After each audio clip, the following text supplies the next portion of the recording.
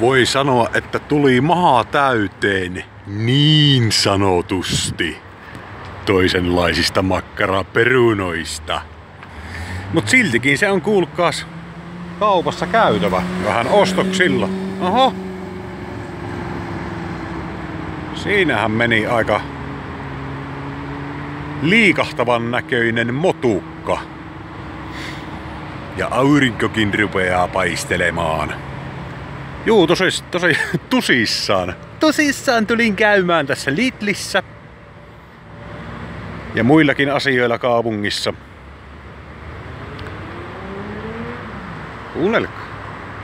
Ui. Kukahan se siellä on? Uu.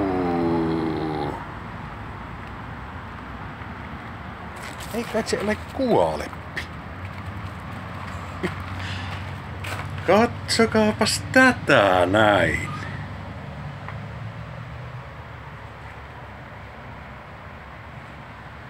Tämmöisen sain. Kiitoksia lahjoituksesta. Tosin itse en tänne mahdu, varsinkaan nytten kun olen hieman syöpötellyt toisenlaisia makkaraperunoita.